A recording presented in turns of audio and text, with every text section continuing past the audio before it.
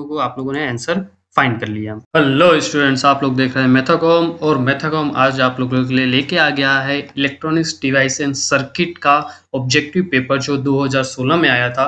ये वाला लेक्चर जो है इलेक्ट्रिकल सीएस और इलेक्ट्रॉनिक्स के बच्चों के लिए काफ़ी इंपॉर्टेंट है और जैसा कि मेथाकॉम ने आपसे प्रोमिस किया था कि हम बहुत सारे डिफरेंट सब्जेक्ट्स के लेक्चर्स लेके आने वाले हैं तो उसी सीरीज़ में आज हम बात कर रहे हैं ईडीसी की ईडीसी का ये पेपर सीएस कंप्यूटर डिपार्टमेंट के लिए 2016 में आया था। वो ऑब्जेक्टिव पेपर आज हम लोग देखेंगे।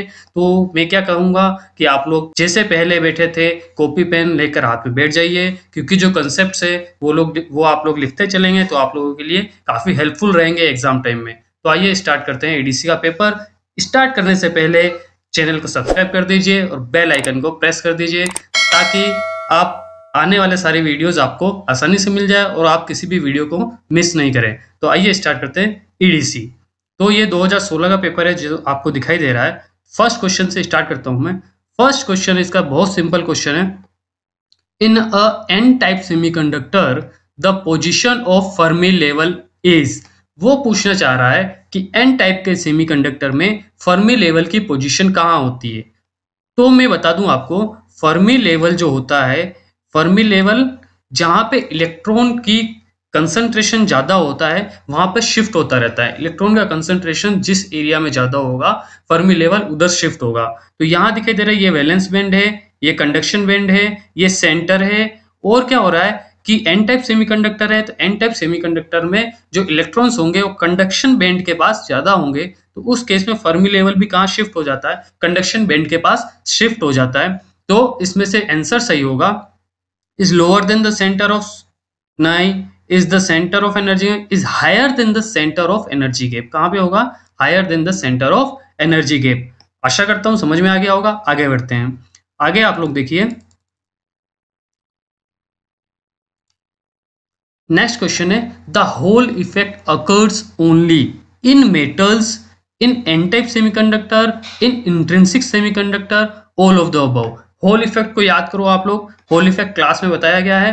होल इफ़ेक्ट क्या होता है कि इलेक्ट्रिक फ़ील्ड जो कंडक्टर है, उसमें करंट फ्लो हो रही है चार्ज की हेल्प से और मैग्नेटिक फ़ील्ड परपेंडिकुलर लगाते हैं तो एक तरफ़ चार्ज शिफ्ट हो जाते हैं। तो वो पी ए टाइप का सेमीकंडक्टर है या एन टाइप का सेमीकंडक्टर है, वो पता करने के लिए हमने होल इफ़ेक्ट का यूज़ किया था। बट होल इफ़ेक्ट कहाँ पे अप्लाई हो सकता है? होल इफ़ेक्ट जो भी मेटल्स है या फिर जो भी कंडक्टर्स है जिसमें करंट चार्ज के कारण फ्लो हो रही है, उसके अक्रॉस अगर मैग्नेटिक फ़ील्ड लगाते हैं तो होल इफ़ेक्ट वहाँ पे अकर हो सकता है। तो मेटल्स में एन टाइप सेमीकंडक्टर में इंट्रेंसिक सेमीकंडक्टर में सभी में होगा तो यहाँ पे आंसर क्या आ जाएगा आपका? ऑल ऑफ़ द अबव आपको आंसर पे टिक करना है। क्लियर आगे बढ़े। आगे आप लोगों को क्या दिखाई दे रहा है? थर्ड क्वेश्चन थर्ड क्वेश्चन में क्या है? कि an intrinsic semiconductor at the absolute zero temperature अब सेमीकंडक्टर दो टाइप के होते हैं बेसिकली इंट्रेंसिक और एक्सट्रेंसिक इंट्रेंसिक सेमीकंडक्टर को हम प्योर सेमीकंडक्टर भी कहते हैं, जो हमें नेचर से अवेलेबल होते हैं, जिसमें पी टाइप मतलब होल्स और इलेक्ट्रॉन्स के नंबर्स क्या होते हैं? सेम होते हैं। और ज़ीरो डिग्री टेम्परेचर पे वहाँ पे ना फ्री इलेक्ट्रॉन होता है, ना फ्री होल होता है, वो किसकी तरह बिहेव करता है? इंसुलेटर की तरह बिहेव करता है। जब हम इंट्रेंसिक सेमीकंडक्टर के अक्रॉस टेम्परेचर इंक्रीज करते हैं तो इलेक्ट्रॉन्स क्या होते हैं? कंडक्शन वैलेंस बैंड से जम करके कहाँ चले जाते हैं? कंडक्शन बैंड में चले जाते हैं और यहाँ पे क्या छोड़ के जाते हैं? होल्स को छोड़ के जाते हैं। तो ज़ीरो डिग्री टेम्परेचर पे इंट्रेंसिक सेमीकंडक्टर प्योर सेमीकंडक्टर में होल्स और इलेक्ट्रॉन्स नहीं होते हैं, वो वैलेंस बैंड में ही रहेंगे तो वो किसकी तरह बिहेव करेगा? वो behave as a insulator zero degree temperature किसकी तरह बिहेव करेगा? एज ए इंसुलेटर आगे बढ़े क्लियर वेरी गुड लिखते चलो क्वेश्चन के जो कंसेप्ट है, उनको लिखते चलोगे तो आपकी हेल्प हो जाएगी, क्योंकि 2020 में मान के चलो कि जो क्वेश्चन पेपर बनने वाला है, इन्हीं कंसेप्ट बनने वाला है। आगे चलते हैं। The donor type impurities. अब इम्प्यूरिटीज हमने इंट्रेंसिक सेमीकंडक्टर में अगर इम्प्यूरिटी एड कर दी जाती है तो वो एक्सट्रेंसिक सेमीकंडक्टर बन जाता है। अब इम्प्यूरिटी दो टाइप की होती है डोनर इम्प्यूरिटी और एक्सेप्टर इम्प्यूरिटी डोनर इम्प्यूरिटी में क्या होता है? एन टाइप सेमीकंडक्टर बनता है और एक्सेप्टर इम्प्यूरिटी जब एड करते हैं तो पी टाइप सेमीकंडक्टर बनता है।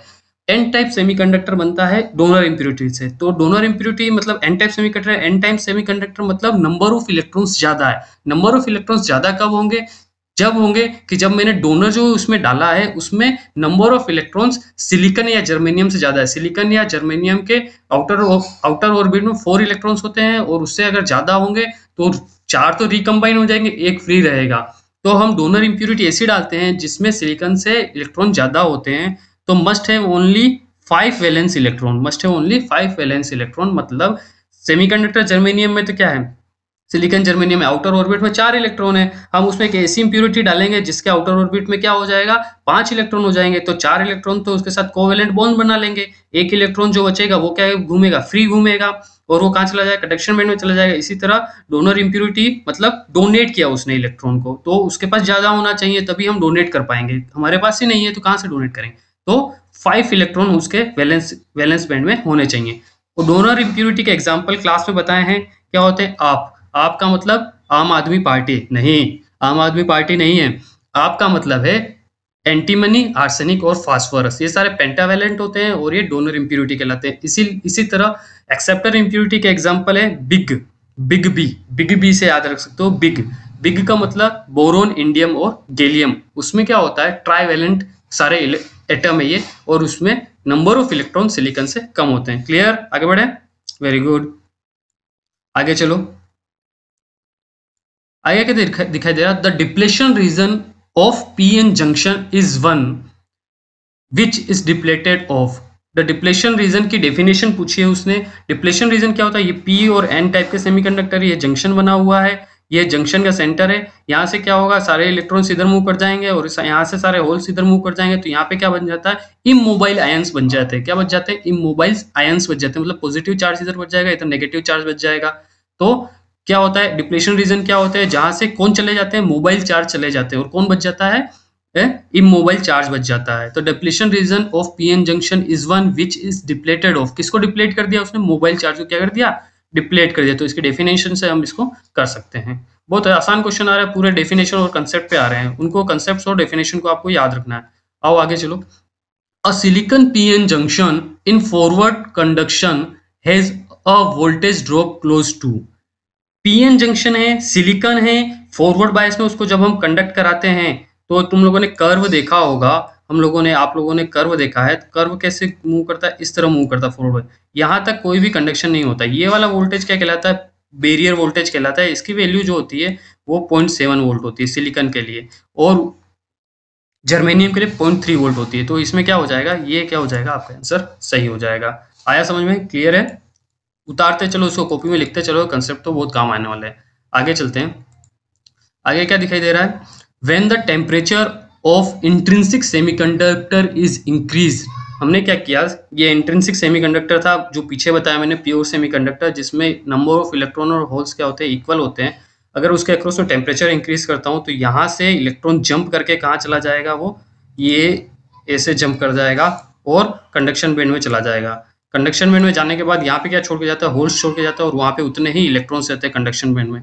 अब वो पूछ रहा है, चार ऑप्शन दे रखे हैं। Resistance of semiconductor increase resistance तो बढ़ ही नहीं सकता, क्योंकि यहाँ पे कंडक्शन में जब इलेक्ट्रॉन जाता है, इसकी कंडक्टिविटी इंक्रीज होती है। तो कंडक्टिविटी इंक्रीज हो रही है तो रजिस्टेंस इंक्रीज नहीं हो सकता। तो ये वाला आंसर गलत है। Heat energy decrease the radius of atomic radius heat energy से क्या होता है? एटोमिक रेडियस डिक्रीज हो जाए, ये भी यहाँ पे नहीं अप्लाई होता है। Holes are created in the conduction band conduction band में होल्स नहीं हुए। होल्स कहाँ पे क्रिएट हुए? वैलेंस बैंड में क्रिएट हुए। तो कंडक्शन बैंड में तो इलेक्ट्रॉन आए तो ये वाला ऑप्शन भी सही नहीं है। तो आंसर क्या बचता है मेरे पास? Energy of atom is increase atom की क्या होगी एनर्जी इंक्रीज होगी इस वजह से एनर्जी इंक्रीज हो जाती है तो बच्चा भी क्या चाहता है? जब बड़ा हो जाता है तो माता पिता से दूर होने की कोशिश करता है। वो चाहता है कि मैं बाहर खुलूँ। तो ये भी फ्री होने चाह रहे हैं इलेक्ट्रॉन्स तो वो जंप करके ऊपर चले जाते हैं। तो ऑप्शन डी आपका सही है। आगे चले। फिर है the conventional current in P N junction diode flows P N junction diode में करंट फ्लो की डायरेक्शन क्या होती है? हम जानते हैं पॉजिटिव से नेगेटिव जाती है पी से एन की तरफ़ फ्लो करती है, लेकिन इलेक्ट्रॉन एन से पी की तरफ़ फ्लो करते हैं और होल्स पी से एन की तरफ़। और करंट की डायरेक्शन जिधर होल मूव करता है, उधर ही होती है। इलेक्ट्रॉन्स के जस्ट अपोजिट होती है। ये याद रखना हमें करंट की डायरेक्शन इलेक्ट्रॉन के डायरेक्शन के अपोजिट है और होल्स की डायरेक्शन के सिमिलर है। तो इसका आंसर क्या आएगा? फ्रॉम पॉजिटिव टू नेगेटिव ये बात सही है इसकी। फ्रॉम नेगेटिव टू पॉजिटिव ये बात बिल्कुल गलत है। In the direction opposite to the electron flow electron के फ्लो के अपोजिट डायरेक्शन में तो ऊपर यही बताया होल के फ्लो के डायरेक्शन में इलेक्ट्रॉन के फ्लो के अपोजिट डायरेक्शन तो ये ऑप्शन भी सही है तो डी वाला ऑप्शन सही है, जिसमें वो क्या कह रहा है बी ए और सी दोनों सही है। आगे बढ़े, आगे वो क्या पूछ रहा है वो? The light emitting diode LED जो छोटी छोटी एलईडी होती है ना, उसके बारे में पूछ रहा है, उस क्या कंसेप्ट सही है? Is usually made from silicon gallium arsenide की बनी होती है सिलिकन की नहीं बनती बनती है। Use is a reverse bias junction, reverse bias junction Zener diode में यूज़ होता है। एलईडी हम हमेशा फॉरवर्ड बायस में ही लगाते हैं। Give a light output which increase with the increase of temperature ऐसा कुछ नहीं है। एलईडी के अक्रॉस टेम्परेचर बढ़ाने से उसकी लाइट इंक्रीज नहीं होती है। तो depend on recombination of electron ये बिल्कुल आंसर इसका सही है। अब कैसे होता है रिकॉम्बिनेशन क्या होता है कि हायर एनर्जी लेवल से जब इलेक्ट्रॉन जंप करते हैं लोअर एनर्जी लेवल में कंडक्शन बैंड से बैलेंस बैंड में कंबाइन होने के लिए होल्स के साथ। होल्स के साथ जब कंबाइन होने के लिए जंप करते हैं तो क्या होता है, इसका एनर्जी हाई है, यहाँ पे एनर्जी लो है। हायर एनर्जी से लोअर है तो जो एनर्जी बची जाती है, वो लाइट की फॉर्म में वो इमिट करते हैं, इसलिए हमें लाइट दिखाई देती है। कंसेप्ट क्लियर है, लिख लो, इसको बहुत अच्छा कंसेप्ट है ना? आगे बढ़ते हैं। आगे क्या दिखाई दे रहा है? Avalanche breakdown in a semiconductor diode occur अब avalanche breakdown in a semiconductor diode occur इसको ऐसे समझो। ये सेमीकंडक्टर डायोड की कैरेक्टरिस्टिक्स है। ये तो फॉरवर्ड बायस में, ये रिवर्स बायस में, और ये वाला ये। ये क्या कहलाता है? जीनर ब्रेकडाउन और ये वाला कहलाता है एवलांशे ब्रेकडाउन अब क्या होता है कि ऐसे डायोड्स या ऐसे सेमीकंडक्टर जिसमें जो डोपिंग है डोपिंग का कंसंट्रेशन कम होता है डोपिंग का कंसंट्रेशन कम होता है तो रिवर्स बायस में जैसे जैसे वोल्टेज इंक्रीज करते हैं तो एक पर्टिकुलर वोल्टेज के बाद क्या होती है डिप्रेशन रीजन ब्रेक हो जाती है और करंट रिवर्स डायरेक्शन में फ्लो होने लग जाती है, वो करंट अनकंट्रोल्ड होती है। और अगर डोपिंग का रीजन हाई होता है डोपिंग का कंसंट्रेशन हाई होता है तो उसका क्या होता है जीनर ब्रेकडाउन होता है, जो एलांशे ब्रेकडाउन के वोल्टेज से पहले हो जाता है। दो कंसेप्ट बता रहा हूँ, एक ही साथ, ध्यान से लिखो इसको। अगर डोपिंग का कंसंट्रेशन हाई है तो जीनर ब्रेकडाउन होगा और वो एवलांशे से पहले हो जाएगा। अगर डोपिंग का कंसंट्रेशन लो है तो एवलांशे ब्रेकडाउन होगा। वो जीनर ब्रेकडाउन से हायर रिवर्स वोल्टेज पे होता है और ब्रेकडाउन में क्या होता है? करंट बहुत इनफाइनेटली इंक्रीज हो जाती है अनकंट्रोल्ड फॉर्म में इंक्रीज हो जाती है। तो ऑप्शन क्या है? Forward current exceed a certain level ये सही नहीं है। फॉरवर्ड करंट की बात ही नहीं reverse bias exceed a certain level forward bias exceed certain value the potential barrier reduce तो रिवर्स की बात चल रही है तो ये वाला आंसर बिल्कुल इसका सही है। आशा करता हूँ समझ में आ रहा होगा, समझ में आ रहा है तो सब्सक्राइब करना और चैनल को लाइक करना बिल्कुल बनता है। बेल आइकन को प्रेस करो ताकि कोई भी नया जो वीडियो में लेके आऊँ, वो आप लोग मिस नहीं करो। और मैं आशा करता हूँ कि आप लोग छुट्टियाँ एंजॉय कर रहे होंगे एंजॉय करिए, घर में रहिए और अपने आप को सुरक्षित रखिए और साथ साथ में पढ़ाई भी कीजिए। इलेवंथ क्वेश्चन पे आते हैं। इलेवंथ क्वेश्चन क्या कह रहा है? In a PNP transistor with normal bias PNP transistor की बात कर रहा है वो। पी ये एन और ये पी ट्रांजिस्टर की बात कर रहा है। अब वो पूछ क्या रहा है और क्या क्या रहा है? PNP transistor with normal bias only hole crosses the collector junction collector junction में ये वाला कलेक्टर जंक्शन होता है, ये वाला इमीटर जंक्शन होता है जेई और जेसी केवल ऐसा ज़रूरी नहीं है होल ही हो इलेक्ट्रॉन और होल दोनों फ्लो करते हैं। Only majority carriers crosses the ऐसा भी नहीं है। माइनॉरिटी मेजोरिटी दोनों क्रॉस करते हैं। The collector junction has low resistance ऐसा भी नहीं है। क्या नॉर्मल कंडीशन क्या the emitter junction is forward bias collector junction is reverse bias बचपन से सीखते आ रहे हैं तो ऑप्शन डी मेरा बिल्कुल सही है। बधाई हो आप लोगों को, आप लोगों ने आंसर फाइंड कर लिया। अब आगे बढ़े। आगे क्या ट्वेल्थ क्वेश्चन क्या कह रहा है? For transistor transistor action the collector region must be more heavily doped than base region अब ये बात बता देता हूँ मैं आप लोगों को। ये इस तरह से तीन रीजन बनते हैं इसमें। ये होता है आपका इमीटर ये होता है आपका बेस ये होता है कलेक्टर ये इमीटर और ये बेस और ये कलेक्टर क्या दिख रहा है? इमीटर में कंसंट्रेशन जो होता है, बहुत हाई होता है। दो जो डोपिंग कंसंट्रेशन बहुत हाई होता है बेस क्या होता है? थिक हो थिन होता है, बहुत पतला होता है। कलेक्टर की साइज़ सबसे बड़ी होती है। यह इमिट ट्रांजिस्टर की बेसिक प्रॉपर्टी है। अब पूछ रहा है वो कुछ क्या है? The collector region must be more heavily dope than base region गलत बात है। इमीटर रीजन सबसे ज़्यादा हेवीली डोप्ड होता है। The base region must be N type material N base region क्योंकि हमारे पास ट्रांजिस्टर दो टाइप के होते हैं पी एन पी बी होता है तो बेस यहाँ एन है और एन पी एन बी होता है एक ट्रांजिस्टर तो बेस यहाँ क्या है? पी है। तो इसकी बात की केवल एन होना चाहिए, ये गलत हो गई। एन भी हो सकता है पी भी हो सकता है। The base region must be very narrow ये बात बिल्कुल सही है कि पतला होना चाहिए। The collector base junction must be forward collector base junction तो हमेशा रिवर्स बायस होना चाहिए। तो बात कौन सी सही निकल के आती है? ये वाली बात इसकी बिल्कुल सही निकल के आती है। आगे बढ़ो। आगे क्या कह रहा है? थर्टीन क्वेश्चन में। थर्टीन क्वेश्चन क्या है the leakage current I C B O flows leakage current कहाँ फ्लो होती है? बेस और कलेक्टर के बीच में फ्लो होती है। क्योंकि माइनॉरिटी कैरियर रिवर्स बायस होता है और रिवर्स बायस में माइनॉरिटी कैरियर मूव करते हैं, उसके कारण जो करंट फ्लो होती है, उसको लीकेज करंट बोलते हैं या रिवर्स सेचुरेशन करंट बोलते हैं। इसी करंट के कारण ट्रांजिस्टर स्टेबिलाईजेशन की सारी सारे टोने टोट के हमें करने पड़ते हैं। उसकी बाइसिंग करनी पड़ती है, वो सारी चीज़ें करनी पड़ती है। तो आईसीबी और रिवर्स लीकेज करंट किसमें फ्लो होती है? बेस और कलेक्टर के बीच में नाम से पता चल रहा है कलेक्टर बेस क्लियर है ना? लिख लो इसको। आगे बढ़ो। आगे क्या दिखाई दे रहा? फोर्टीन क्वेश्चन में क्या कह रहा? A transistor connected in common base configuration common base configuration में कनेक्ट कर देते हैं अभी हम ट्रांजिस्टर ये ये ये ये। ये क्या हो गया आपका? इमीटर मीटर, बेस और कलेक्टर। ये ई, ये आपका बेस और ये आपका कलेक्टर। अब क्या कह रहा है वो? Transistor connected in common base configuration बना दिया common base uh low input resistance and high output resistance तो ट्रांजिस्टर से हम जनरली एम्पलीफायर बनाते हैं। तो इनपुट रेजिस्टेंस तो क्या होना चाहिए? हाई होना चाहिए और आउटपुट रेजिस्टेंस कम होना चाहिए। इनपुट रेजिस्टेंस हाई ये क्या कह रहा है? इनपुट रेजिस्टेंस तो लो है और हाई आउटपुट रेजिस्टेंस है। बात करते हैं आगे। High input resistance and low output resistance both the input and output resistance low ये दोनों तो बिल्कुल भी सही नहीं हो सकते। High input resistance and low output resistance high input resistance नहीं होगा क्योंकि यहाँ पे इमीटर है तो इनपुट रेजिस्टेंस कम हो जाता है। बेस होता तो ज़्यादा हो जाता तो इसीलिए इनपुट रेजिस्टेंस तो लो होगा और आउटपुट रेजिस्टेंस क्या होता है? हाई होता है। फिर उसके बाद आते हैं हम लोग। फिफ्टींथ पे फिफ्टींथ वाला भी यही क्वेश्चन है। इसमें क्या कह रहा है वो? बना दे वापस ट्रांजिस्टर बना देते हैं।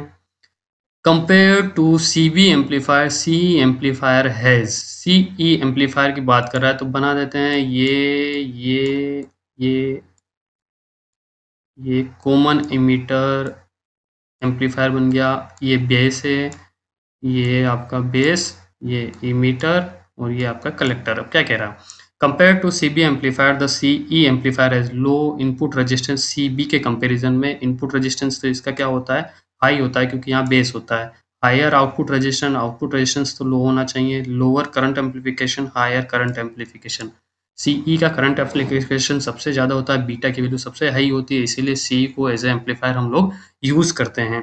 तो अभी तक आप लोगों ने 15 क्वेश्चन देख लिए हैं 15 क्वेश्चन के रिलेटेड कंसेप्ट को आप लोग उतार लीजिए, ये आप लोगों के लिए बहुत इंपॉर्टेंट है और आप लोग मेरे चैनल को देख रहे हैं। आप लोगों का बहुत बहुत धन्यवाद। इस धन्यवाद के साथ को और मैं बढ़ा दूँगा, तब बढ़ा दूँगा कि आप लोग एक काम करें, मुझे टेलीग्राम और व्हाट्सअप और फेसबुक पर फॉलो करें, जिससे मैं कोई भी पीडीएफ आपके साथ शेयर करना चाहूँ तो इजी में मैं शेयर कर दूँ और चैनल को शेयर करना ना भूलें। धन्यवाद। धन्यवाद। जय हिंद।